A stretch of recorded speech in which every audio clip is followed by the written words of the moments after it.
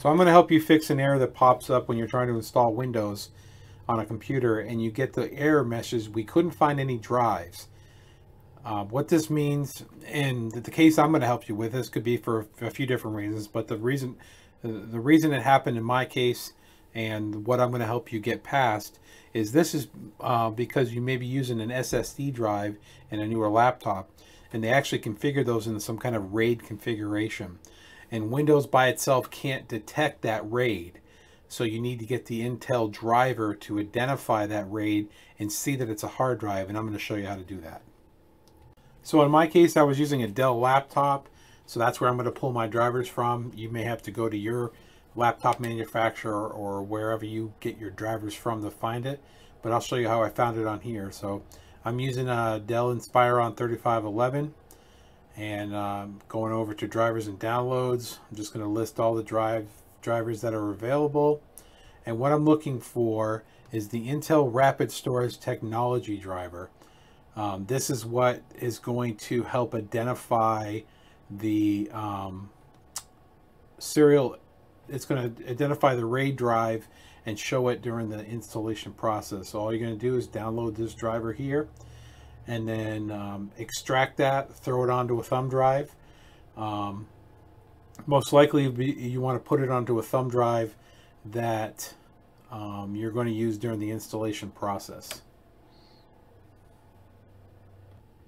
So once you have that file downloaded, you're going to run the program and this window will pop up.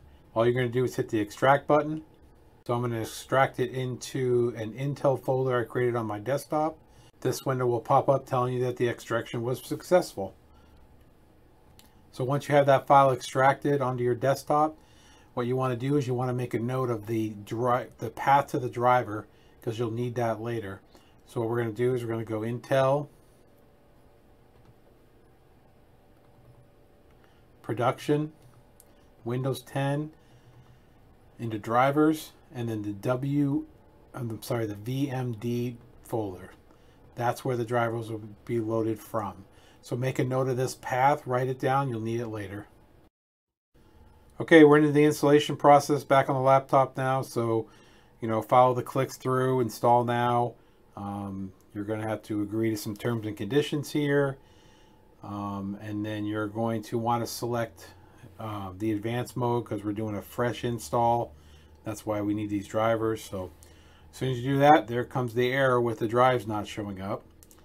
So we need to load the drivers. So we're going to click load driver and then we're going to click browse and then we're going to browse to that Intel drive folder that we created on that thumb drive, uh, production, uh, Windows, and we're going to get into that VMD fo folder. Select that, hit OK, um, select the driver that matches your chipset, um, load it up, going to take a few seconds for it to run through. And once it's done loading the driver, um, all your drives should populate on the screen and uh, should eliminate any problems you would have had. Hope this helps.